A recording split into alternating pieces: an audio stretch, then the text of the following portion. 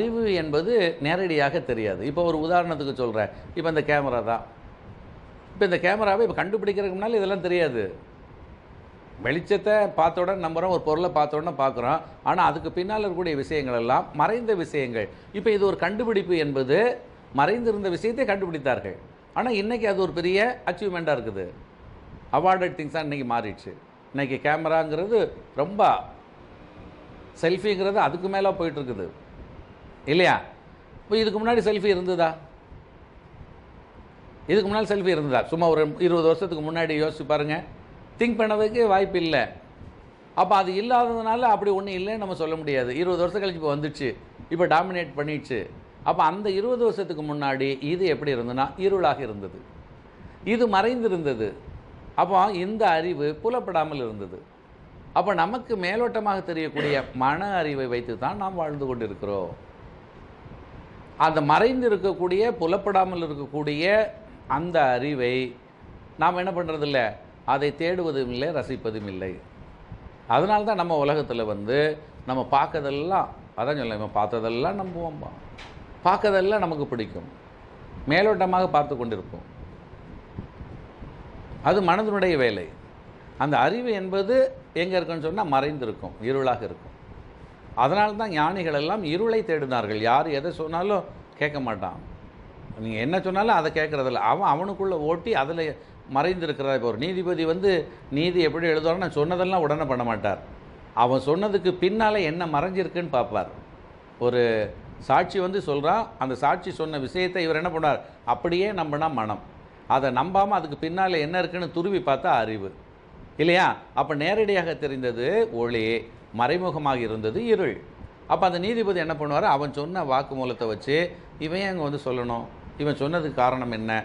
இவன் யார்? அதோடு எப்படி ஒட்- ஒட்டி வருகிறதா? இப்படியெல்லாம் மறைந்திருக்கக்கூடிய விஷயத்தை அவர் நினைக்கின்ற பொழுது அங்கே அறிவு வெளிப்படுகிறது. அந்த அறிவை வைத்து அவர் நீதிபதி.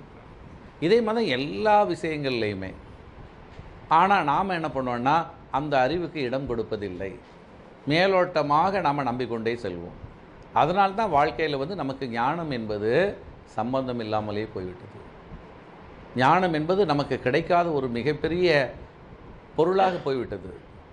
ஞானம்னா என்னவோ அந்தரத்தில் தொங்கிட்டு இருக்கக்கூடிய ஒரு சந்திரன் மாதிரி நமக்கு பார்த்துக்கிட்டு இருக்கலாம் பேசிக்கிட்டு இருக்கலாம். ஆனால் தொட முடியாது. அந்த மாதிரி நமக்கு இருக்கு இன்னைக்கு தோணிகிட்டு இருக்குது ஞானம். தொட முடியுமா சந்திரனை? எவ்வளோ தான் துள்ளினாலும் ஏற முடியாது. இல்லையா? அந்த நிலை வந்துவிட்டது. அப்போ ஞானம் என்பது எதுன்னு சொல்லியாச்சுன்னா அறிவு. அந்த அறிவு எங்கே இருக்கிறது என்றால் இருளில் இருக்கிறது. இருள்னா உடனே நீங்கள் லைட் ஆஃப் பண்ணிகிட்டு இருக்கக்கூடியதில் போய் அறிவு இருக்கா? அப்படி நினைக்கக்கூடாது. அதுக்கு தான் நான் இவ்வளோ விளக்கம் சொல்கிறேன் ஏன்னா அதுவும் கூட அறிவில்லாத இல்லாத சிந்தனை தான் உங்களுக்கு. மேலோட்டமாக பார்க்குறீங்க அறிவு என்பது ஆழ்ந்து பார்ப்பது. அப்போ தான் நமக்கு வந்து இப்போ நம்ம ஒருத்தர் சொல்கிறாரு ரமண மகரிஷி சொல்கிறாரு நான் யார்? இவன் அழகாக காமெடி சொல்லுவான். அது கூட தெரியாமலா சாமி இவ்வளோ வயசு ஓட்டிட்டு இருக்கிறீங்க சொல்லிட்டு போகலாம். இல்லையா? சொல்லாமல் இல்லையா? நம்மளால கமெண்ட் கொடுத்துருவான். நீங்கள் யாருன்னு தெரியாமல் இவ்வளோ வருஷம் இருக்கீங்களா? உங்க உங்களை பற்றி எங்கிட்ட கேட்குறீங்க ஆமாம் அவர் நான் யாரும்பார். நான் யாருன்னு அவரை சொல்லலை. நான் யாருன்னு? நான் நான்னு சொல்கிறீங்களா அது யாருன்னு கேட்குறார் அப்போ அவர் சொன்னதில் மறைந்திருக்கிற அறிவு ஆனால் நமக்கு மேலோட்டமாக பார்த்தா அவர் நம்மளை கேட்குறாரு போல் இருக்கு எந்த ஊருக்கார் என்னன்னு சொல்லிட்டு. ஐயோ இவர் யாருப்பான்னு சொல்லி பக்கத்தில் விசாரித்தான்னு வச்சுக்கோங்க. நம்ம முட்டாளாக போயிடுவோம் தெரியாமலாம் வந்து உட்காந்துருக்கிறாரு அறுபது வருஷமாக அப்போ அவர் அங்கே சொன்னது நான் யாருன்னு அவரை சொல்லவில்லை. நாம் எல்லாரும் நான் நான் நான் சொல்லிட்டு தெரிகிறோமே அந்த நான் யாருப்பா? யாரை சொல்கிறேன் நான் நான்னு? ஏன்னு நம்ம நம்முடைய சிந்தனைக்கு அவர் என்ன பண்ணுறாரு வித்தை போடுறார். அப்போ ஞானத்தில் போனவனுக்கு தான் ஞான தேடுதல் உள்ளவன் அறிவு தேடுதல் உள்ளவனுக்கு தான் அது புரியும். இல்லைன்னு சொன்னால் அது வேடிக்கை. இப்போ ஞான உபதேசம் கேட்குறதுங்கிறது வந்து ரொம்ப காலமாக இல்லை. ரொம்ப காலம் இல்லை.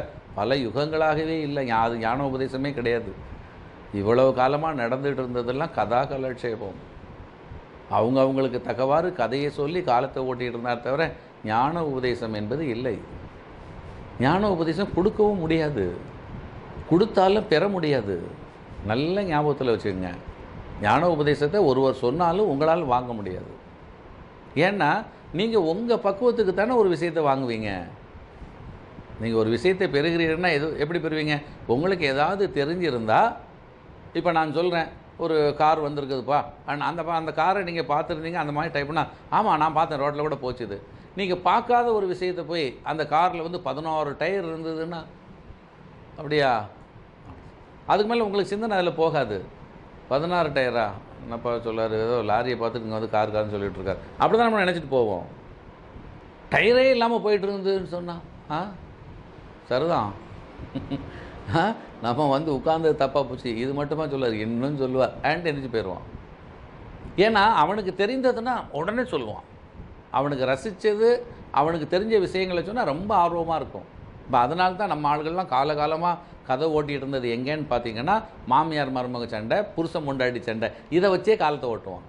எல்லா பட்டிமண்டலையும் எல்லா பக்தி மார்க்கத்துலேயும் இதை சொல்லாமல் ஒரு இடத்த விட்டுருக்க மாட்டான். ஏன்னா அவன் சிரிக்க வைக்கணும்னா இதை மட்டும்தான். நல்ல ஞான விஷயத்தை சொல்லுவான் அப்படியே உட்காந்துட்டு இருப்பாங்க. மூஞ்சில் சிரிப்பும் வராது கண்ணில் தேடுதல் இருக்காது இப்படியே இருந்துகிட்டு இருப்பாங்க. அவன் பார்ப்பான் இப்படி உட்காந்துருந்தா எல்லாம் தூங்கி விழுந்துரும் அப்புறம் தட்டி தான் எழுப்பிட்டு போகணும்னு சொல்லி உடனே ஒரு வீட்டை தூக்கி அப்படி மெதுவாக போடுவான்.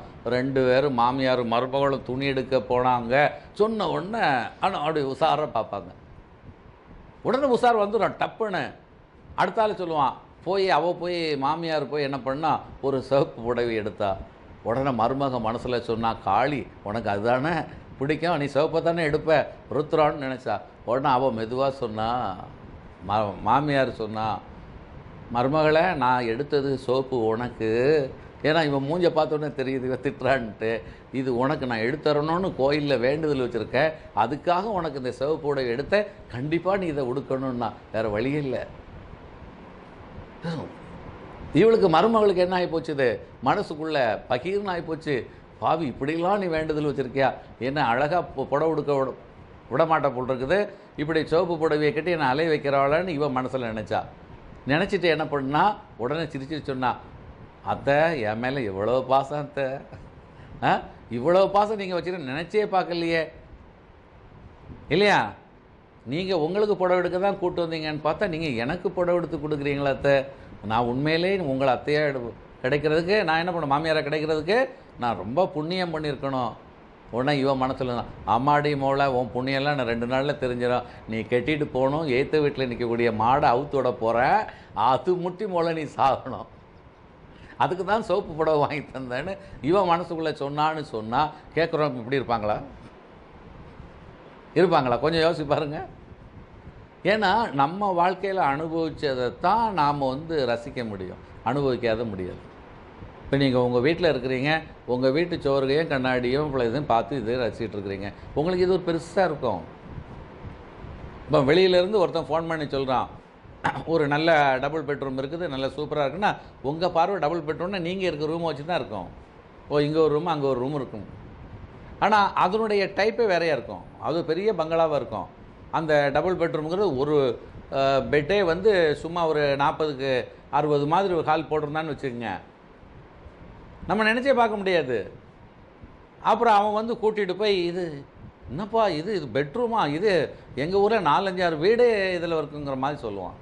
ஆனால் அதுவரை அவனுக்கு அந்த கணிப்பு வராது. அவன் பெட்ரூம்னா எட்டு கேட்டில் முடங்கிட்டு இருந்தவன். பாயில் படுத்து தூங்கி இருந்தவன்ட்டு போய் அறுபதுக்கு எண்பதுன்னு சொல்லி ஒரு ஹாலை பெட்ரூம்னு கா சொன்னால் முடியுமா? இப்போ சினிமாலாம் காட்டுறான். பெரிய பெட்ரூமாக இருக்கும். நடுவில் பெட் இருக்கும். நம்ம என்ன பண்ணுவோம்? கட்டில் போட்டு பீரோன்னு நிறுத்தினா அதுக்கு பிறகு போக முடியாது திரும்பவும் முடியாது. அப்படிலாம் பெட்ரூமாக பார்த்து நம்ம ரசிச்சிட்டு இருக்கோம். இதில் போய் இந்த மாதிரி காட்டினா அதனால தான் சினிமா நமக்கு பிடிக்குது. இல்லையா? அப்போ நமக்கு ரசனை என்னன்னா எதை அனுபவிக்கிறோமோ எதை தெரிஞ்சு வச்சுருக்கோமோ அதை தான் அப்போ ஒரு குருபிரான் வந்து உங்கள்கிட்ட ஒரு ஞானத்தை எல்லாம் சொன்னால் அது ஏறுமா? நிச்சயமாக ஏறாது. என்னெல்லாமோ சொல்கிறாரு ஒரு பெரிய ஆளாக இருப்பார் இருக்கு. அவர்கிட்ட தான் இருக்கும். சரி பார்த்து கடைசியில் போகும்போது சொல்லுவான் சாமி நல்லா ஆசீர்வாதம் பண்ணி எனக்கு ஒரு நல்ல சீக்கிர வாழ்க்கையை கொடுங்க சாமி. இதை தான் சொல்லுவான் இந்த ஞானத்தை பெறணும் நம்மளும் அவரை போல வரணும் நம்ம பிறவியை முடிக்கணும் அந்த தேடுதலாம் இருக்காது. ஏன்னா இவன் அது உள் வாங்கவே இல்லையே. அவர் திரும்ப திரும்ப என்ன சொல்லி கொடுத்துட்ருப்பாரு நீ இந்த மாதிரி நான் சொல்ல விஷயங்கள்லாம் வாங்கிட்டா உனக்கும் வரும்பா உனக்கும் கிடையாது அதை இவன் உள்ளே வாங்கலை. ஆனால் இவன் என்ன பண்ணுவான்? போகும்போது நல்ல ஆசீர்வாதம் பண்ணி விடுங்க சாமி. எனக்கு ஒரு நல்ல தொழில் கிடைக்கட்டு நல்ல காசு பணம் கையில் வரட்டு. அப்படி தான் கேட்டு போவோம். ஏன்னா வாங்கினா தானே முடியும். நம்ம அப்படி தான் வாழ்ந்துட்டுருக்கோம் அது நம்ம தப்பு இல்லை. காலகாலமாக நடந்திருக்கு. இது எங்கே என்ன நடந்துகிட்ருக்குன்னா ஒளியை நம்பி வாழ்ந்து கொண்டிருப்பதால் அறிவை நாம் தொட முடியாதவர்களாக இருக்கிறோம். அதனால தான் நான் ஒளிர்ந்து கொண்டிருக்கிறேன். ஆனால் ஒளிந்து கொண்டிருக்கிறேன். இல்லையா? அறிவு வந்து எப்போவுமே அது மெலிர்ந்துக்கிட்டே இருக்கும் ஒளிர்ந்து கொண்டே இருக்கும். ஆனால் நம்ம பார்வைக்கு தெரியாது. நம்ம பார்வைக்கு அறிவு புரியவே புரியாது. அந்த அறிவு வந்து உடனே தெரியவே தெரியாது. யாராவது சொன்ன பிறகு ஓ ஆமாம் அப்படியா? அப்படிம்போம். இது முத நமக்கு தெரியுமா? முத தெரியாது. அதை சாதாரணமாக நினைப்போம். நினைப்பா நினைக்க மாட்டோமா ஒரு ஒரு ஒரு பெரியவர் வந்தார். பெரியவர் வந்தார் என்ன பண்ணாருன்னா அங்கே நாலஞ்சாறு பசங்க விளையாடிட்டு இருந்தான். பசங்கள்கிட்ட சொன்னார் என்ன தம்பி என்ன படிக்கிறீங்க? எங்கே படிக்கிறீங்க? ஸ்கூலில் படிக்கிறோம். யார் நல்ல மதிப்பெண்லாம் எடுப்பாங்க ஒவ்வொருத்தனா நான் நூறு எடுப்பேன் நான் தொண்ணூறு எடுப்பேன் எண்பது எடுப்பேன் இதெல்லாம் சொல்லிகிட்டு இருந்தார். இப்போ அந்த பெரியவர் சொல்லிட்டு என்னவர் அங்கே ஒரு யானை வந்துட்டு இருந்தது. யானை பார்க்க குளிக்க வைக்கிறதுக்காக இது வந்து குளத்தங்கரையில் நடந்துகிட்ருக்குது இருக்குது. குளிக்க வைக்கிறதுக்காக யானை கொண்டு வரோம் இப்போ அந்த பெரியவர் சொன்னார் இந்த யானை எவ்வளோ வெயிட் இருக்கும்? உடனே அவர் சிரிச்சிட்டு ஒரு பையன் சொன்னான் அது இருக்கும் கொளுத்து போயில் இருக்குது அது யார்? அது நிறைய வெயிட் இருக்கும்னா எவ்வளோ சுமாராக எவ்வளோ இருக்கும்? ஒவ்வொருத்தன் ஒரு கணக்கு அதெல்லாம் வேண்டாம் அந்த யானை எவ்வளோ வெயிட் சொல்ல முடியுமான்னா அவன் சொன்னால் பக்கத்தில் உள்ளவன் சொன்னால் பெருசுக்கு மூளை கலங்கி போச்சு யானையை தூக்கியா வெயிட் பார்க்க முடியும்? யானையை தூக்கியா வெயிட் பார்க்க முடியும்? யானை வச்சு நம்ம எப்படி வெயிட் பார்க்க முடியும்? நான் தராசில் ஒருத்தன் பக்கத்துல ஆமாம் ஆமாம் தராசில் இருந்தால் தராசே என்ன பண்ணிடும் உடஞ்சி விழுந்தோம் வெயிட்டை பார்க்குறதுக்காது போ போ ஆனா இவர் சொன்னார் தம்பி படிக்கிறீங்கன்னா அறிவுக்கு வேலை கொடுங்க. பார்த்து மிரண்டுறாதீங்க யானையை பார்த்தீங்க? ஆனால் யானை வெயிட்டை பார்க்கணுன்னா பார்க்குறதுக்கு மனம் போதும். ஆனால் அதனுடைய தன்மையை அறியறதுக்கு அறிவு வேணும். மனசை வச்சு நீ சொல்ல முடியுமா? இது எவ்வளவுன்னு சொல்லி. நம்ம வாழ்க்கையில் அந்த தப்பை தான் நம்ம பண்ணிகிட்ருக்குறோம் அப்போ அவன் கேட்டான் பையன் கேட்டான் அப்போ பார்த்துட்டிங்களா? இப்போ வெயிட்டை நீங்கள் சொல்லிடுங்களா பார்ப்போன்னு. இது ஒன்றும் பெரிய விஷயம் இல்லைப்பா. அந்த படகு ஓட்டியை கூப்பிட்டார். கொஞ்சம் நல்ல வலிமையாக இதெல்லாம் கெட்ட சொன்னார். இந்த யானையை அதில் ஏற்ற சொன்னார். அந்த இப்போ அந்த யானை அப்படி இக்கரையிலேருந்து அக்கறை கொண்டு போகும்போது அப்படி எவ்வளவுக்கு அந்த யானை ஏறினோடனே எவ்வளவு அமிழ்ந்ததோ அந்த இடத்துல ஒரு வரை போட்டு வச்சுக்கிட்டார். அதில் ஒரு வரை போட்டார் போட்டு யானையை வெளியே எடுத்தார். இப்போ என்ன பண்ணார்னா அந்த போட்டை உள்ளே கொண்டு போய் தண்ணியில் அமுங்க வச்சார். இப்போ எவ்வளவு தண்ணி அதில் இருக்கும்போது அந்த வரைக்கும் அமுங்கிச்சதோ இந்த தண்ணி அளவு தான். தண்ணியை வெளியே லிட்டர் பாருன்னார். அதில் வந்து ஒரு ஐநூறு லிட்டர் வந்து இது ஐநூறு லிட்டர் இந்த யானைன்னு இல்லையா? நமக்கு அந்த சிந்தனை மொதல் போகுமா? இது எப்படி வெயிட் பார்க்க முடியும்? தராசில் தூக்கி வச்சா விறகு வைக்கலாம் யானை தூக்கி வச்சா தராசே ஒடிஞ்சிருமே. ஆனால் இன்றைக்கி வெயிட் மேடைகள்லாம் இருக்குது. ஆனால் அந்த காலத்தில் அது இல்லை. அப்போ அந்த சிந்தனை நமக்கு வராது. ஏன்னா அறிவு மறைந்திருக்கிறது. யார் இருளை தேடுகிறார்களோ யார் மறைந்ததை தேடுகிறார்களோ அவர்களுக்கு தான் அது புலப்படும். இல்லையா? இப்போ இவர் என்ன பண்ணார்? மன ரீதியாக பார்க்காம அறிவு ரீதியாக மறைந்திருக்க விஷயத்தை பார்த்தார். இப்படித்தான் நம்ம வாழ்க்கையில் நாம் வந்து என்ன பண்ணணும்னு சொன்னால் மேலோட்டமாக பார்க்குற விஷயங்கள் எல்லாம் ஒதுக்கி வைத்துவிட்டு அதற்கு பின்புலமாக இருக்கக்கூடிய அதை இயக்கி கொண்டு இருக்கக்கூடிய அந்த ஆற்றல் எதுங்கிறத ஞானிகள் தேடினார்கள். நம்ம நினச்சிட்டோம் பிறந்தோம் வளர்ந்தோன்னு. அவன் கேள்வி ஏன் பிறந்தோம்? இந்த அப்பா அம்மாவுக்கு நம்ம ஏன் வந்தோம்? இல்லையா? வேறு வந்திருக்கலாமே. ராஜாட்ட பிறந்திருக்கலாம். ஏன் இந்த ஏழைகிட்ட பிறந்தோம்? இந்த கேள்வியெலாம் அவருக்கு வந்தது. அப்போ வெளியே தெரியாத விஷயத்தை யார் தேடுறாங்க? இப்போ ஒரு உதாரணத்தை சொல்கிறேன் புத்தரை வச்சுக்கொள்ளலாம். புத்தர் அழகாக நல்ல பால் கஞ்சியும் பாதாம் கஞ்சி சாப்பிட்டுட்டு அழகாக பொண்டாட்டி கூட வாழ்ந்துட்டு குழந்தைய தூக்கி கொஞ்சிட்டு வாழ்ந்துட்டு இருக்கலாம்.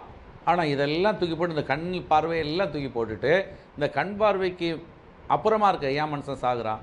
ஏன் துன்பத்தில் போகிறான் ஏன் நம்ம முதுமை அடைஞ்சிருந்தோம் அப்போ இந்த வாழ்க்கையினுடைய விடிவு என்ன?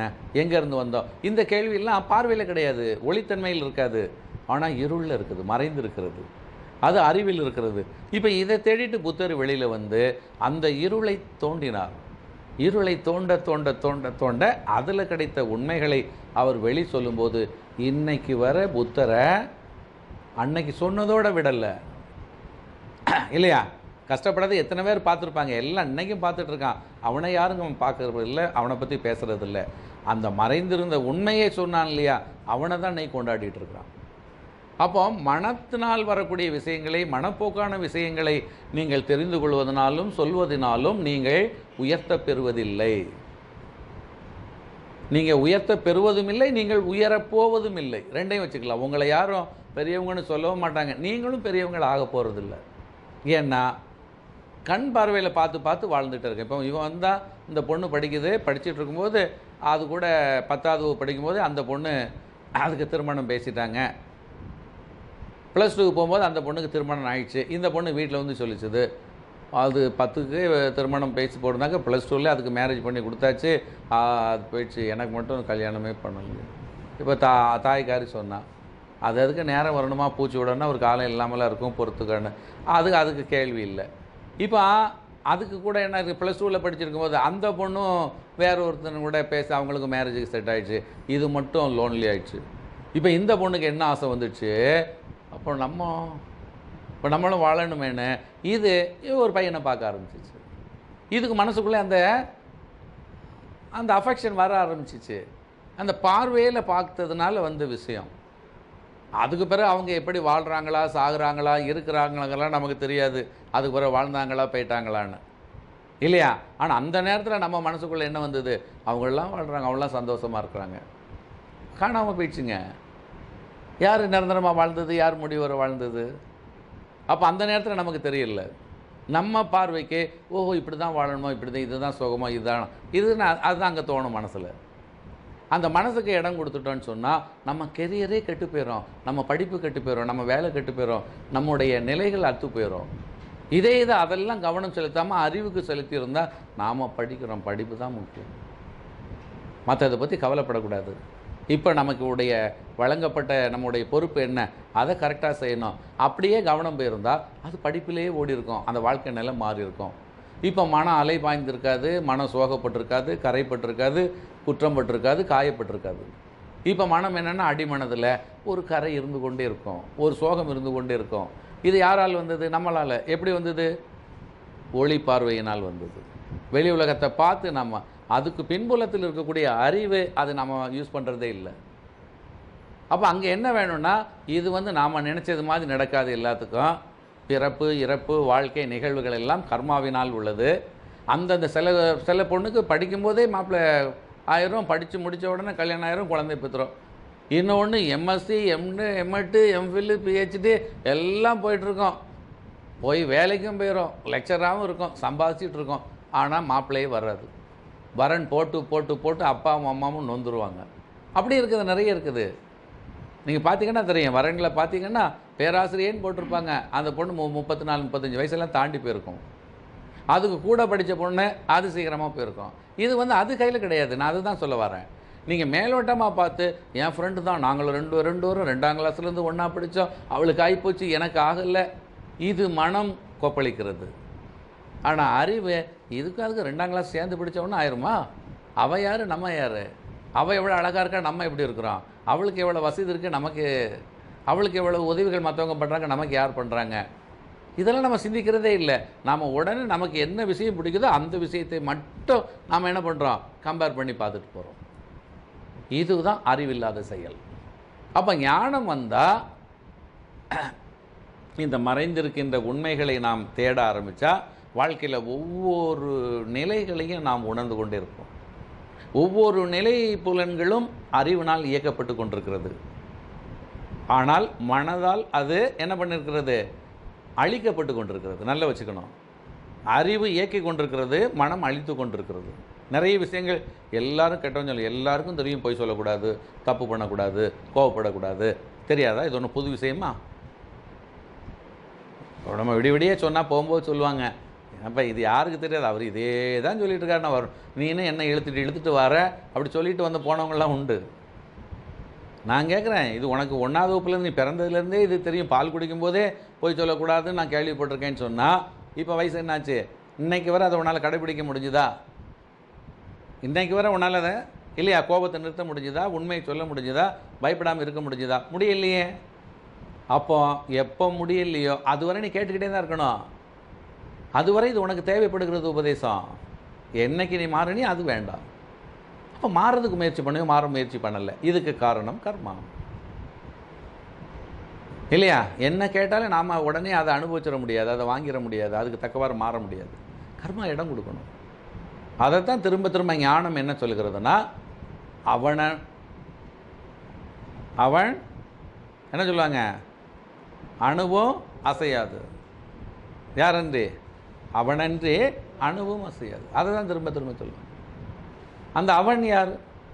அவனா இவன்? நான் அவன் இல்லை. எல்லாம் கதை சொல்லலாம். அந்த நான் அவன் இல்லை அவன் இவன் ஆ, அவன் இவன் உவன் எல்லாமே யார்? எல்லாம் கர்மா. நம்ம என்ன பண்ணோம் ஒவ்வொரு பேரை வச்சு ஒவ்வொரு விதமாக வச்சு நம்ம கொண்டாடிருக்கோம் அது பலமுறை சொல்லிட்டேன். இந்த தெய்வங்கள் நிலைகள் எல்லாம் வந்து மனப்படைப்புகளால் உண்டானது கர்மாவினால் உண்டானது. இப்போ அறிவு நிலைக்கும் கர்ம நிலைக்கு நீங்கள் பார்த்தீங்கன்னா கர்ம நிலை மனப்பதிவுகளால் உண்டானது. இது வெளிப்புறமாக தெரிந்துவிடும். அப்போ வெளியில் தெரிகிற விஷயங்களை வச்செல்லாம் நாம் எந்த காலத்துலேயுமே ஒரு முடிவு எடுக்கக்கூடாது. அது உண்மை அல்ல. அவங்க அவங்களுக்கு நிலைக்கு அவங்க அவங்களுக்கு இருக்குது. அவங்களுடைய தன்மைக்கு தக்கவாறு அவர் வாழ்ந்து கொண்டு இருப்பார்கள் நாம் அதில் போகக்கூடாது. அப்போ நம்ம தன்மை என்னங்கிறத நாம் உணர்றதுக்கு இறங்கினா தான் நாம் ஜெயிக்க முடியும் நாம் வாழ முடியும். நம்ம தன்மை எப்படி இருக்குதுன்னா நேரடியாக தெரியாது மறைந்திருக்கு நமக்கு ஒரு குரு வழிகாட்டணும். ஒரு குருட்ட போய் உட்கார்ந்துருந்து கேட்டு அவர் பார்த்து தத்துவத்தை சொல்லி அதெல்லாம் ஒரு நாளில் நடக்கிற விஷயம் இல்லை. அதுக்கு தான் காலம். இப்போ அவங்க என்ன பண்ணுவாங்கன்னா உங்கள் கர்மா போன உடனே கர்மா தெரிஞ்சிடும். அவங்க இன்னும் கர்மா இவருக்கு இன்னும் இருபத்தஞ்சி வருஷம் இருக்குது இன்றைக்கி சொன்னாலும் இது ஒன்றும் பிரயோஜனப்படாது. கொஞ்சம் கொஞ்சமாக கர்மா கரைக்க வச்சு அந்த உண்மையை உணர வச்சுட்டு வச்சுட்டு வச்சுட்டு அப்படியே கொண்டு போகும்போது ஒரு ஸ்டேஜில் வரும்போது இந்த கர்மாவும் கரைந்து விடும். அவங்களுக்கு வேண்டியதும் கிடச்சிரும். உடனே கொடுக்க மாட்டாங்க. உடனே கொடுத்தாலும் பிரயோஜனம் இருக்காது. அடுத்த நிமிடம் என்ன பண்ணிடுவீங்க? இப்போ ஒருத்தன் இருக்கிறான். ரொம்ப கஷ்டத்தில் இருக்கிறான். ரொம்ப கஷ்டத்தில் இருக்கிறான். அந்த கஷ்டத்தில் இருக்கிறவன்ட்ட வந்து அவன் வாரான். சாமி என்னை காப்பாற்றுங்க நான் ரொம்ப கஷ்டத்தில் இருக்கேன். எனக்கு ஏதாவது வழி காட்டுங்க. இவர் என்ன பண்ணார்? அந்த கஷ்டத்தில் இருக்கிறவனுக்குன்னு சொல்லி ஐயோ கஷ்டத்தில் இருக்கான்னு சொல்லி ஒரு தங்க கோப்பையை தூக்கி கையில் கொடுத்தா அடுத்த நிமிடம் என்ன பண்ணுவான்? பக்கத்தில் யார் உடனே காசு தருவான்னு சேட்டுக்கடை நம்பி இந்த தங்க கோப்பை போயிடும் இந்த தங்க கோப்பையை விற்று அவன் சாப்பிட்டாலும் அதோட அவன் கஷ்டம் தீர்மானம் தீராது. கொஞ்ச நாளைக்கு ஓடும். அதுக்கப்புறம் பழைய குருடி கருத்துறன்னு வந்துடுவாங்க இவன் ஏன்னா இவன் கஷ்டத்தில் இருக்கணுங்கிறது இருபத்தஞ்சி வருஷம் இருக்குதுன்னு தலையில் எழுதியிருக்குது. அப்போ அந்த இருபத்தஞ்சி வருஷத்துக்குள்ளே நீங்கள் பத்து லட்சம் இல்லை நாற்பது லட்சம் கொடுத்தாலும் அவன் தேர மாட்டான் அவ்வளோ பாழாயிரும் அவ்வளோ வீணாயிரும். மீண்டும் மீண்டும் மீண்டும் இந்த மண்ணுளி பாம்பு மாதிரி தான் இருக்கும். அப்போ அந்த இருபத்தஞ்சி வருஷம் வரை இருக்குதுங்கும்போது என்ன பண்ணிடுவாருன்னா உட்காரு. வீரு கஷ்டப்படு. அப்போ கஷ்டப்படும் போது அவனுக்கு வேண்டியது கொஞ்சம் கொஞ்சம் தேவைக்கு மட்டும். அப்படி அப்படி கொடுத்து கொடுத்து அந்த பசியை போக்கிக்கிட்டு மீண்டும் பாவத்துக்குள்ளே இறங்காமல் தப்புக்குள்ளே போகாமல் அவன் கவனம் முழுக்க கர்மாவில் போகாமல் ஞானத்துக்குள்ளே வச்சு வச்சு வச்சு வச்சு இப்போ அவனுக்கு என்ன ஆயிருன்னா அந்த இருபத்தஞ்சி வருஷம் இருபத்தி நாலு வருஷம் வரும்போது தேறிடுவான் இப்போ அவன்கிட்ட போய் இந்தப்பா அதில் அந்த பையன் திறந்து பாரு அதில் ஒரு நாற்பத்தஞ்சு லட்ச ரூபா இருக்குது இதை எடுத்துகிட்டு எங்கேயாவும் போய் பொழன்னு சொன்னான் சாமி யாருக்கு வேணும் இந்த கரன்சிலாம் எல்லாம் வச்சுங்க நீங்கள் எப்பவும் கொடுப்பீங்களா? அந்த அஞ்சு ரூபா கொடுங்க. அது போதும் சாமி. அதை போய் ஒரு ரெண்டு இட்லியும் ஒரு வடையும் சாப்பிட்டு அப்படி வந்து பக்கத்தில் காலில் உட்கார்றது. ஏன்னா இவன் அனுபவிச்சுட்டான். அந்த இருபத்தஞ்சி வருஷமாக அந்த கர்மா குறைஞ்சி வரும்போது இதில் இருக்கக்கூடிய அமைதி சொங்க நம்ம அதெல்லாம் நினச்சோமே இதுக்கு இதுக்கு மேல் பணம்லாம் வந்து வந்து எங்கே போச்சுன்னு தெரியலையே. இன்னும் நம்ம வந்து என்ன பண்ணிகிட்டு இருக்கோம்? அவஸ்தையில் இருக்கிறோம். அப்போ இது மாயை இதில் விழக்கூடாது இது காணல் நீர். அப்போ உண்மையானது நமக்கு பசிக்கு சோறு. நம்முடைய மனதுக்கு நிம்மதி. இது எங்கே கிடைக்குது? இங்கே கிடைக்குது. என்ன அனுப்பிடாதீங்க சாமியும்பா அப்போ என்ன பண்ணுவார்? ஆஹா தேறிட்டான். இன்னும் ஒரு வருஷம் தான் வான்னு சொல்லி அவனை பக்கத்தில் உட்கார வச்சு வித்தைகளை சொல்லுவார். இப்போ தான் அவனுக்கு வித்தை ஏறும். ஏன்னா எப்போ தெளிவடைஞ்சிட்டானோ அந்த மண் நல்லா இருந்தால் தான் விதை முளைக்கும். மண் சரியில்லாத போது விதையை போட்டிங்கன்னா பெறும் இப்போ அந்த ஒரு வருஷத்துக்குள்ளே இவனுக்கு எல்லாம் சொல்லி கொடுக்கும்போது தேறிடும். இப்போ அவனுடைய அந்த கர்மாவும் முடிகிறது இவனும் ஆற்றல் போயிட்டு போகும் இதுதான் காலகாலமாக நடந்து வருகிறது வெளியில் தெரியாது. இந்த ஆற்றல் பெற்று முக்தி அடைந்த சித்தர்கள் எல்லாம் வெளியில் தெரியாது. இந்த முக்தி அடையாமல் மூளைக்கு மூளை சுற்றிட்டு போகிறாங்க இல்லையா? அவனை தான் வெளி உலகத்துக்கு தெரியும். நல்லா ஞாபகம் வச்சுங்க. ஏன்னா அவங்க நிறைவாக இருக்கிறாங்க. நிறைவான விஷயம் வெளியில் தெரியாது. நிறைவானது தெரியுமா? குறையா உள்ளது தான் தெரியும். அதுதான் அலம்பிக் கொண்டே இருக்கும். ஒரு தண்ணி எடுத்துகிட்டு போகிறாங்க முழு குடம்னா சத்தமே கேட்காது. ஆனால் அதுலேயே ஒரு முக்கால் குடம் கால் குடம்னு தொங்கு தொங்கு தொங்குன்னு அது வந்து என்ன பண்ணிகிட்ருக்கோம் ஒரு சத்தத்தை கொடுத்துட்ருக்கோம் அந்த முழுமையின்மை தான் காட்டும். அந்த சித்தர்கள் ஒரு முக்திக்கு போகிறாங்கன்னா வெளியே வரமாட்டேன். மற்றெல்லாம் தேவையில்லையே. நல்லா சிந்திச்சு பாருங்க. ஆனால் இதை நாம் உணர்வதில்லை. வாழ்க்கையினுடைய உண்மை நிலை என்ன? பிறப்பை அறுப்பது. அதுக்கு மேல் ஒன்றுமே இல்லைங்கிறத நாம் உணர்ந்துக்கிட்டு அதை சொல்லி கொடுத்துட்டு இருக்கும்போது எனக்கு வேலைக்கு என்ன? எனக்கு தொழிலுக்கு என்ன? எனக்கு காசுக்கு என்ன? குடும்பத்துக்கு என்ன?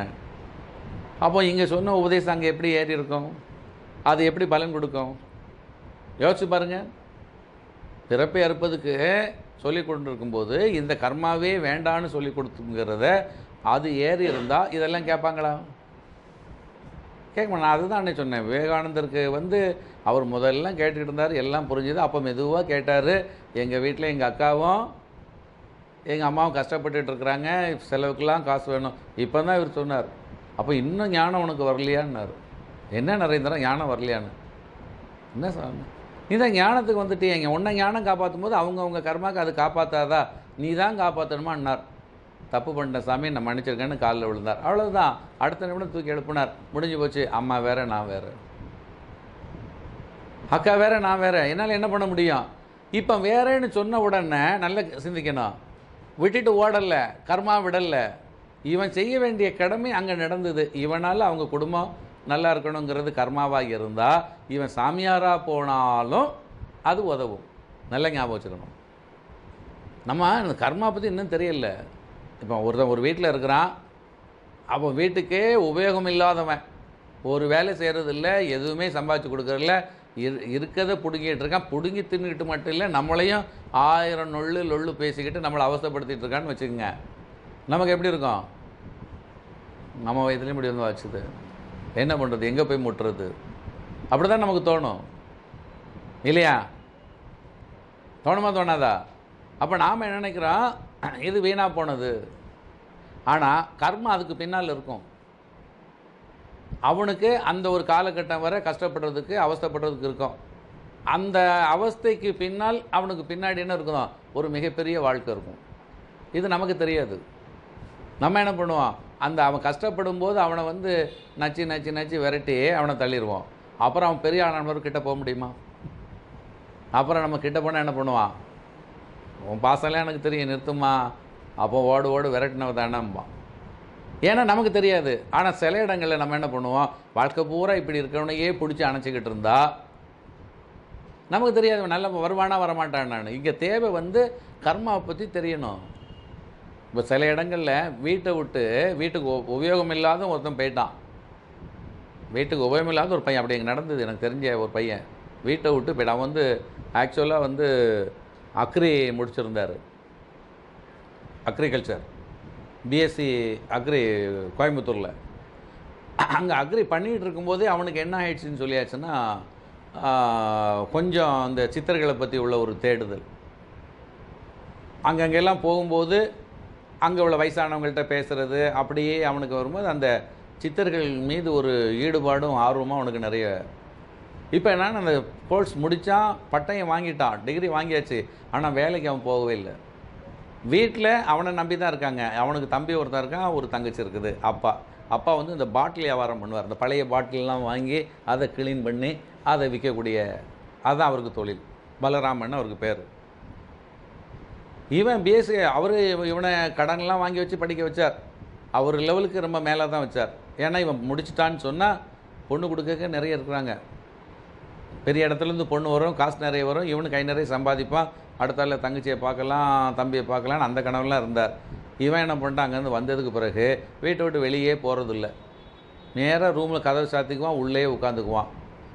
அப்படி வெளியில் போனான்னா ஏதாவது கடைக்கு போயிட்டு தேவாரம் திருவாசகம் இதெல்லாம் வாங்கிட்டு வருவான். இப்போ ஒரு நாள் பார்த்தாரு இவர். என்ன தான் பண்ணிகிட்ருக்கான்னு போய் பார்த்தா அவ்வளோ புக்குகளும் எல்லாம் சாமியார் புஸ்தகமாக இருக்குது திருமந்திரம் தேவாரம் திருவாசகம். ஏன்பா உன் அக்கறைக்குள்ள சம்மந்தமான புஸ்தகத்தெல்லாம் காணும்? அண்ணா வச்சுருக்காங்க அங்கே என்ன பண்ணுறான் எல்லாத்தையும் என்ன பண்ணியிருக்கான் ஒரு மூட்டை கட்டி ஒரு துணியில் மூட்டை கட்டி அவனுடைய சப்ஜெக்ட் புக்கையெல்லாம் வச்சுட்டு டேபிள் மேலே என்ன வச்சுருக்கான் இவருக்கு அப்படியே தலை சுற்ற ஆரம்பிச்சிச்சு. ஐயோ பையன் கெட்டு போயிட்டானே. அவன் புதிய பாருங்க. இதுதான் உலகம். பையன் என்ன ஆயிட்டான்? கெட்டு போயிட்டான். இப்போ இதை எங்கள் அப்பாட்ட சொல்கிறார் அழுதுகிட்டு எங்கள் அப்பாட்ட சொல்லிருக்கார். இப்படி என் பையன் வந்து கெட்டு போயிட்டான். என்ன பண்ணுறது எங்கள் அப்பா கேட்டார் கெட்டு போயிட்டானா? ஏன்? ஏதாவது தப்புக்கு பண்ணானா என்னன்னு? இவர் வேறு ஏதோ திங்க் பண்ணிவிட்டு எங்கள் அப்பா கேட்டிருக்கார். அப்படிலாம் இல்லை. வேலைக்கு போனால் அப்ளிகேஷன் போட மாட்டேங்க வேலைக்கு போக மாட்டாங்க இங்கே தான் உட்காந்துட்ருக்குறான் எந்த தேடுதலும் இல்லை. ஒரு டிகிரி படிச்சிருக்கமே அங்கே கூடிய அந்த இதே இல்லை. ஒரு நாள் நீட்டாக முன்னால் காலேஜ் போகும்போதெல்லாம் சட்டையெல்லாம் அயன் பண்ணி அழகாக அயன் பண்ணிட்டு போகக்கூடியவன் இப்போ ஒரு வேட்டி ஒரு துண்டை போட்டுட்டு உட்காந்துருக்குறது என்ன ஆயிடுச்சு இது? இப்போ இவர் என்ன நினச்சிட்டாரு? யாரோ நம்ம சொந்தத்தில் உள்ளவங்க எவனாவது என்ன பண்ணிட்டான் சூது சூதுக்கு இது மந்திரங்கள் செய்து ஏதோ வச்சுட்டான் போல் இருக்குது. என் பிள்ளைய நாசமாக்கிட்டாங்கன்னு அவருடைய தேடுதல்.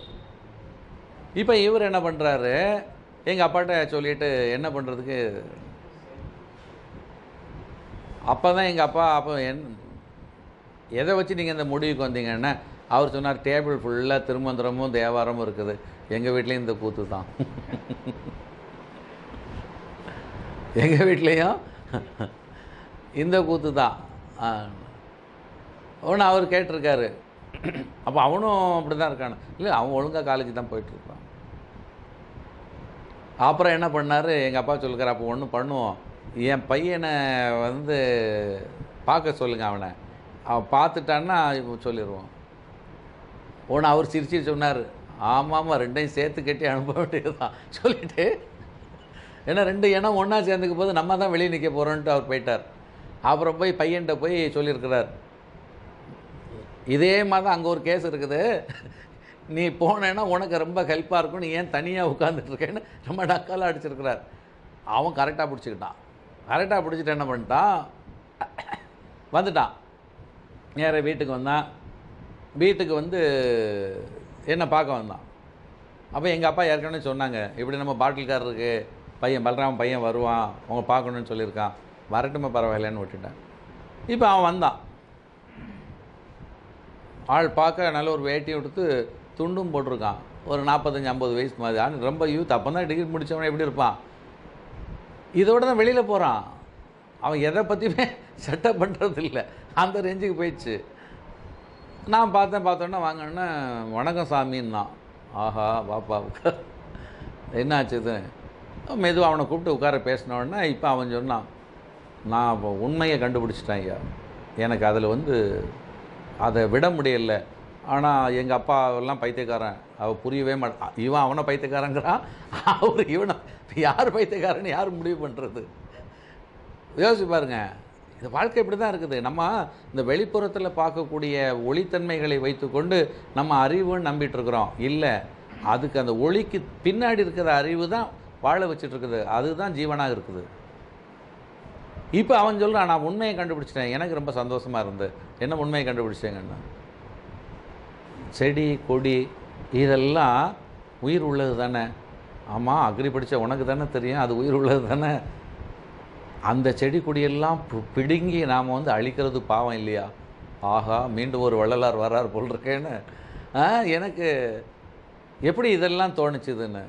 அங்கே ஒரு பெரியவர் போவேன் அவர் கொஞ்சம் இந்த சித்தர் பாட்டெலாம் பாடுவார் அது கொஞ்சம் மனசுக்கு ரொம்ப ஈடுபாடாக இருந்தது அதனால நான் அவர்கிட்ட போயிட்டுருப்பேன்.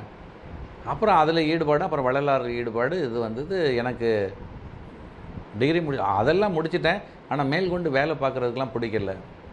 இந்த உண்மையில் போன இந்த உயிர்த்தன்மையை நாம் உணரணும். இந்த பிறவி எதுக்கு? ஒரு செடி மாதிரி தானே நம்மளும். அதுவும் சுவாசிக்குது அதுவும் வாழுது அதுவும் வளருது. இப்போ நம்மளும் அப்படி தானே இருக்கிறோம். நமக்கு என்ன பெரிய வித்தியாசம்? அவன் கேள்வி. இவனை போய் அவர் சொல்கிறார் அது வெறும் பாட்டில் கழுவி கழுவி காலத்தை ஓட்டிகிட்டு இருக்குது. இவன் அறிவுபூர்வமாக சிந்திக்கிறது அவருக்கு உணர முடியல. அவருக்கு என்ன ஆசைன்னா பிஎஸ்சி அக்ரியன்னு பையனுக்கு பேரை போட்டால் ஒரு எம்பிபிஎஸ் டாக்டரோ பிடிஎஸ் டாக்டரோ வரப்போகிறா அவன் நிறைய தரப்போகிறான்லாம் கனவு கண்டுகிட்டு இருந்தார். இதெல்லாம் அங்கே ஆஃப் ஆயிடுச்சு. அதனால் பையன் மேலே கோவம். இப்போ நான் அவன்கிட்ட கேட்டேன் இப்போ உன்னுடைய நிலை என்ன? இதுக்கு யாராவது வழிகாட்டினா அவங்க காலடியிலே நான் உட்கார்றதுக்கு தயாராக இருக்கேன். வீட்டில் என்ன விட மாட்டேங்கிறாங்க? இல்லைன்னா நான் இதுக்கு நான் வேறு தான் நான் ரூட் எடுக்கணும். என்ன ரூட் எடுக்க போகிறேன் எனக்குள்ள வழியை தேட போகிறேன் தெளிவாக இருக்கான் வேலை பார்க்க வேண்டாம் வேலை பார்த்து எதுக்கு? வேலை பார்த்து எதுக்கு? என்ன வேணும்? இதுதானே நடக்க போகுது. வேலையும் வேலை பார்த்து எதுக்கு? எனக்கு தெரிய வேண்டிய உண்மையை நான் இப்போவுமே தெரிஞ்சுக்கிட்டேன். அப்போ இதுக்கு மேல் நம்ம அவன்கிட்ட வந்து அவனை ரொம்ப உள்ள கலாய்க்கக்கூடாதுன்னு எனக்குள்ள ஏன்னா அந்த வாசம் தெரிய ஆரம்பிச்சது. ஆனால் உண்மையான தேடுதல். சரி வள்ளலார்கிட்ட உனக்கு என்ன பிடிச்சி பிடிச்சிருக்குது? வள்ளலார் வந்து உண்மையை சொல்லாமலே போயிட்டாருன்னா. ஆஹா எவ்வளோ பெரிய தெளிவு பாருங்கள் வள்ளலார் உண்மையை சொல்லாமலே போயிட்டாருன்னா.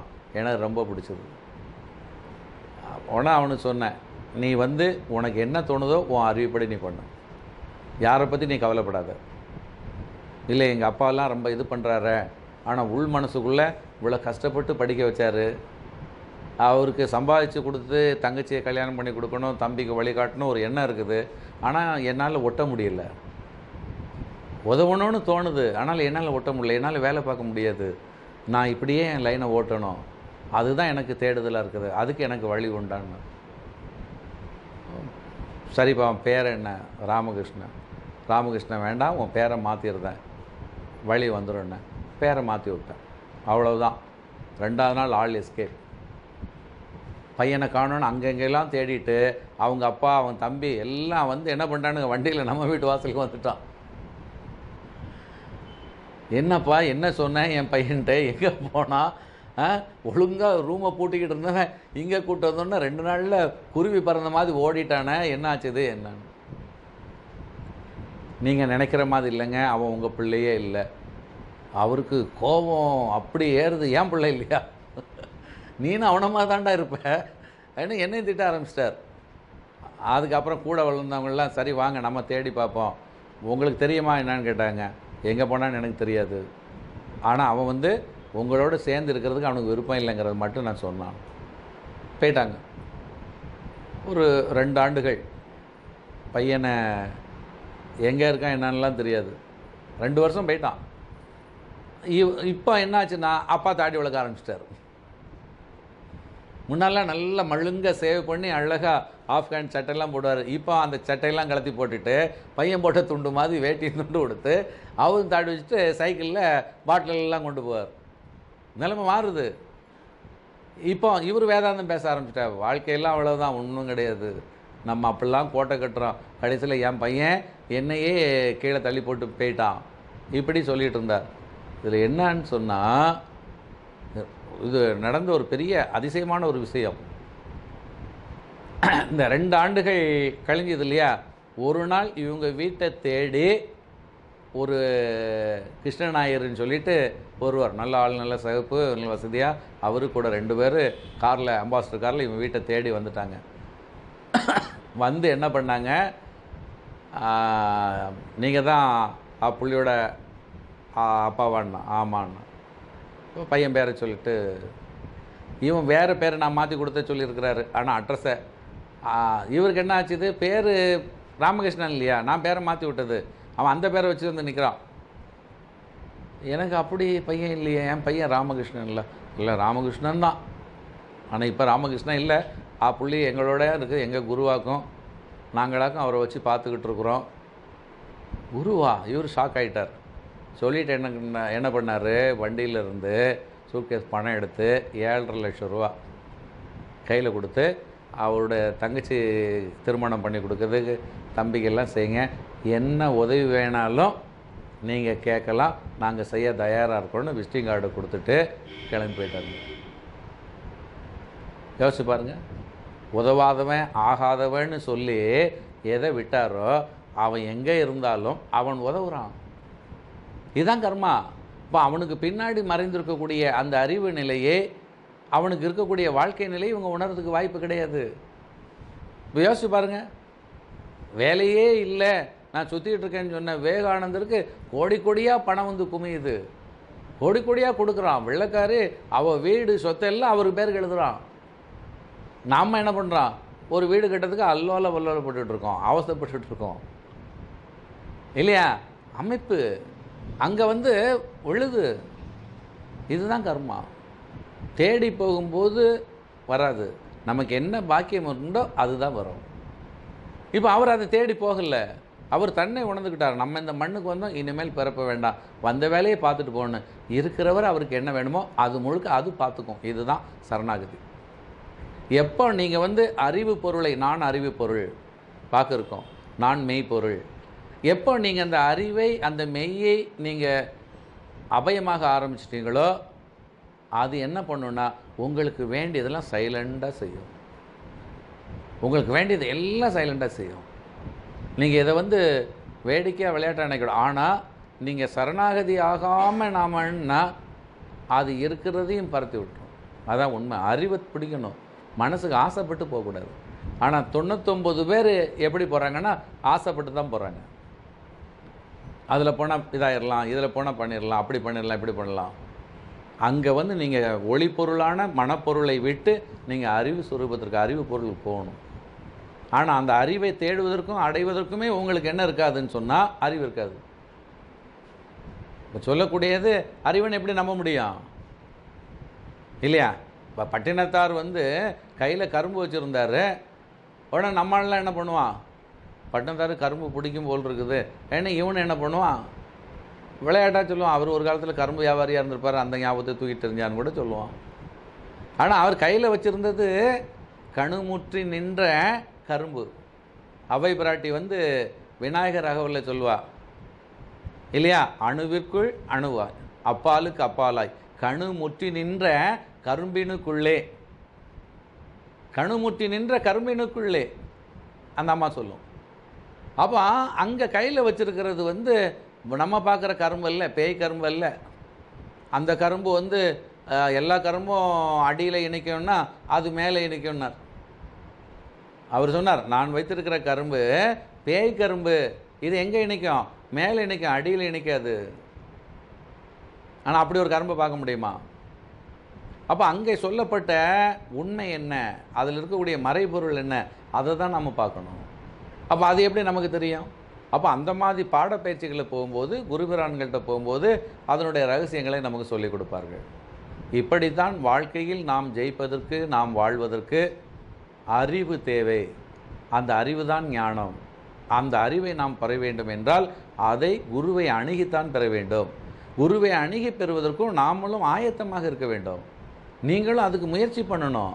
நீங்கள் அதே இல்லாமல் எல்லா நீ கொடுனா கொடுக்க முடியாது. கொடுத்தாலும் வாங்க முடியாது. இது வந்து ஆசிட்டு நீங்கள் கையை வச்சிங்கன்னா கையை பிச்சுட்டு கீழே போயிடும் நீங்கள் முதல்ல என்ன பண்ணால் இது கையை எரிக்காமலும் கையை விட்டு கீழே போகாமலும் உங்களை நீங்கள் என்ன பண்ண ஒரு உரம் போட்டுக்கணும் தயார்படுத்திக்கணும். அந்த பயிற்சியை செய்துக்கிட்டு தான் கையை நீட்டணும். அப்போ விட்டால் கையில் நின்று எரிஞ்சிக்கிட்டே இருக்கும். இப்போ நீங்கள் கையில் நின்று எரியதை காட்டினாலே உங்களுக்கு காசு நிறைய வந்துடும் இந்த ஒன்று போதும்.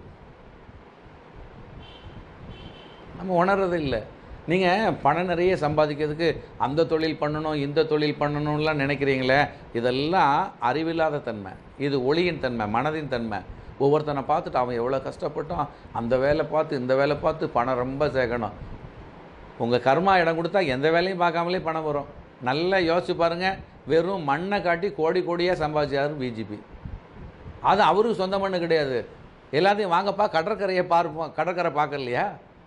திருச்செந்தூரில் பார்க்கலையா? ஆ? எந்த ஊரில் பார்க்கல? கொஞ்சம் யோசிச்சு பாருங்கள் எல்லாத்தையும் கோல்டன் பீச் உடனே இவன் தங்க கடற்கரைன்னு ஓடுறான். இதுதான் ஆசைங்கிறது. கடற்கரை என்ன தங்கமாக இருக்கும்? ஆனால் இவனுக்கு கோல்டன் பீச்னு ஓ அங்கே போனால் தங்கமாக இருக்குமோ? ஒரு வருஷம் மண் அப்படி இருக்குமோ? கொஞ்சம் மண் அள்ளிட்டு வந்துடலாம். இது ஆசையில் ஓடும். போனவனை என்ன பண்ணார்? வழியில் நிறுத்தி எல்லாத்துலேயும் டோக்கனை போட்டு காசு தந்துக்கிட்டு உள்ளே போனார். டோக்கனை போட்டு என்ன பண்ணார்? உள்ளே அனுப்புனார். இப்போ கடற்கரையில் போய் அந்த மண்ணையும் கடலையும் பார்க்குது காசை கொடுத்துட்டு நம்ம ஆள் நிற்கிறான் இல்லையா? காசு சம்பாதிக்கணும் எப்படி சம்பாதிக்கலாம்? இவ்வளோ தொழில் அந்த தொழிலெலாம் கிடையாது. ரொம்ப எளிமை. உங்கள் கர்மா இடம் கொடுத்தோன்னா சாதாரணமாக நீங்கள் அதை விட்டுட்டு நான் எம் பிஇ பண்ணணும் எம்இ பண்ணணும் அதை பண்ணணும் இதை பண்ணணும் எம்பிபிஎஸ் படிக்கணும் அதில் சம்பாதிக்கணும் பெரிய பில்டிங் கட்டணும். இதெல்லாம் கர்மா. பணம் வரணும்னு சொன்னால் வெறும் சும்மா உட்காந்து இருந்துட்டு வந்துடும் ஒரு வாத்தியார் இருந்தார். ஸ்கூலில் பாடம் எடுத்துகிட்டு இருந்தார். சைக்கிளில் தான் போவார். ஸ்கூல்னா எலிமெண்ட்ரி ஸ்கூலுக்கு. மூன்றாவது வகுப்பு நாலாவது வகுப்பு எடுப்பார் அவ்வளவுதான். அங்கே தான் ஸ்கூலில் அந்த காலத்தில் பார்த்தீங்கன்னா எல்லா பாடம் எடுக்கணும். தமிழ் எடுக்கணும் கணக்கு எடுக்கணும். இல்லையா? சில ரெண்டாவது மூணாவது போனால் ஆங்கிலம் இருக்காதப்போ.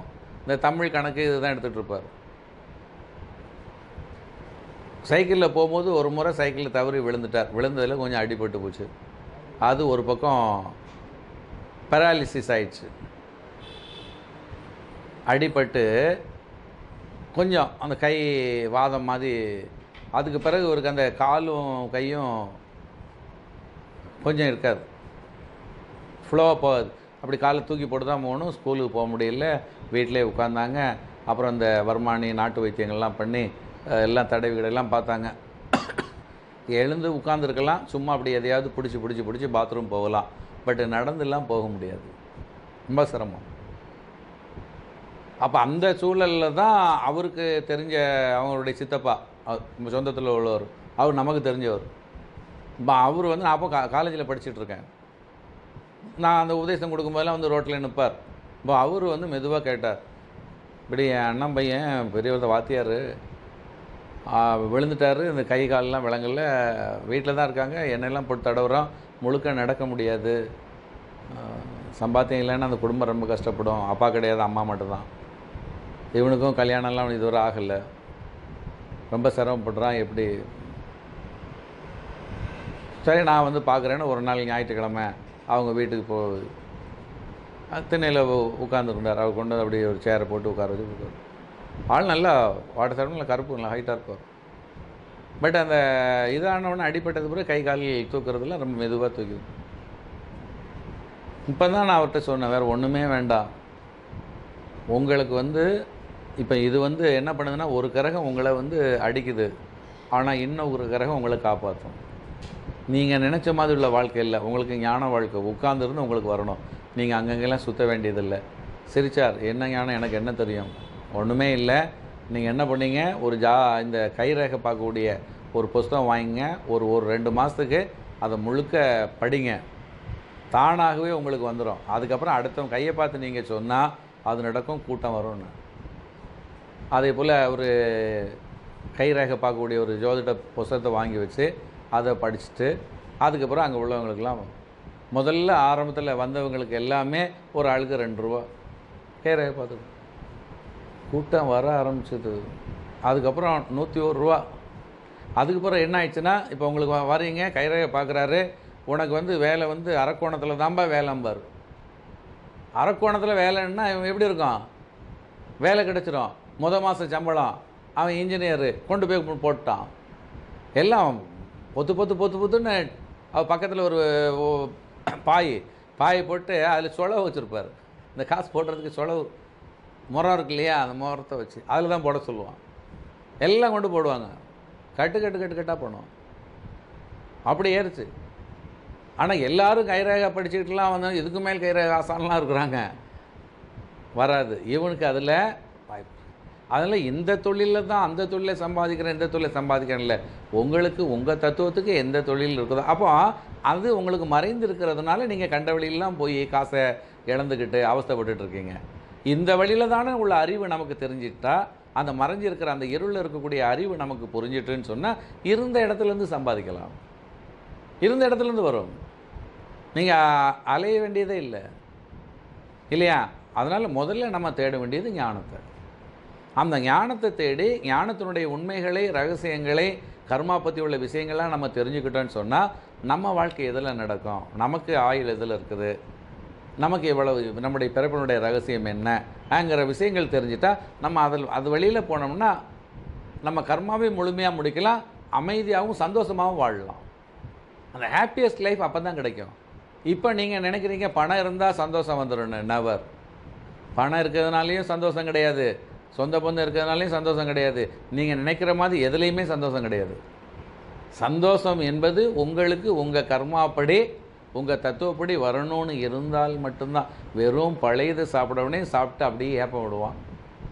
இவன் பிரியாணி சாப்பிட்டுட்டு கூட அப்புறம் பார்ப்பான். அது மாதிரிலாம் இருக்கும். திருப்தி இருக்காது. திருப்தி வராது. அதனால் நாம் தேட வேண்டியது அறிவை. அந்த அறிவு எப்படி இருக்கிறதுனா மறைந்திருக்கிறது. உடனே தெரியாது. புஸ்தம் படிக்கிறதுனாலேயோ நாலு பேர்கிட்ட கேட்கறதுனாலேயோ அல்ல. இப்போ நான் முதல்ல சொன்னேன் அக்பருடைய விஷயத்தை. இல்லையா? அக்பருடைய ஒரு கதை சொன்னேன். மேலோட்டத்தில் பார்த்தா தெரியுமா? மேலோட்டத்தில் தெரியாது. முதல்ல பார்க்குறது அதே மாதிரி இன்னொரு கதை கூட சொல்கிறேன் இதே அக்பர் நிறைய இருக்குது. அவ்வளோ இந்த அந்த தைரியராமன் தெனாலிராமன் இந்த மாதிரி கதைகள்லாம் பார்த்தீங்கன்னா அவ்வளோ புத்தி சாதுரியம் அறிவினுடைய வெளிப்பாடு. பஞ்சதந்திர கதைகள் இதெல்லாம் அறிவினுடைய வெளிப்பாடு. அவனுக்கு பணத்தை கொடுத்தது அள்ளி கொடுத்தது. தளபதி பார்த்தீங்கன்னா அவ்வளவு உயிரை விட்டு க- கட் பண்ணி ரத்தத்தை சிந்தி நிற்பான் அவனுக்கு இருக்காது. இவன் கோமாளித்தனம் பண்ணிவிட்டு வாங்கிட்டு அள்ளிட்டு போயிட்டே இருப்பானுங்க. இல்லையா? அதுக்குள்ளே பாக்கியம். அந்த அக்பருக்கும் பீர்பாலுக்குள்ள கதைகள் நிறைய கதைகள் உண்டு. அப்போ ஒரு தடவை என்ன ஆயிடுச்சுன்னா எல்லாரும் வந்து அக்பருக்கு அக்பருக்கு வந்து பீர்பாலுக்கு மேலே ஒரு பாசம் இருந்தாலும் உள்ளுக்குள்ளே ஒரு மனசு நம்மளோட அவன் எப்படி இவ்வளவு இதாக இருக்கிறான்? எங்கேயாவது ஒரு இடத்துல அவனை நம்ம மட்டன் தட்டணுன்னே அவருக்கு அப்போ அவங்க கூட உள்ளவங்கள்ட்ட எல்லாம் கேட்டார் எப்படி பீர்பாலை தட்டுறதுன்னு? உடனே எல்லாரும் சொன்னாங்க பீர்பால் வந்து ஞானிங்க அவங்க வந்து அவனை நம்ம தட்டுறதுக்கு ரொம்ப கஷ்டம். அப்போ எப்படி தான் இது பணத்தால் வந்து நம்ம தரலாம். அவன் தான் ஞானின்ட்டிய பணம் வேண்டாம்பானே. அவன் தான் பணம் வேண்டான்னு சொல்லுவான் இல்லையா? அப்போ நம்ம எப்படி பண்ணுறது இப்போ அவன் கூட இருந்து ஒரு ஐடியா கொடுக்குறார் அக்பருக்கு. நீங்கள் என்ன பண்ணணும்? பீர்பால்கிட்ட பீர்பாலை கூப்பிட்டு அவர்கிட்ட சொல்லணும். ரெண்டு கேள்வி. ஒன்று பணத்திற்கு இன்னும் ஒன்று அறிவிற்கு. இந்த ரெண்டில் நீ எதை விரும்புகிறேங்கிறது கேட்கணும். அப்போ அவன் எதை சொல்கிறானோ அதை வச்சு நம்ம அவனை மட்டம் தட்டலாம்.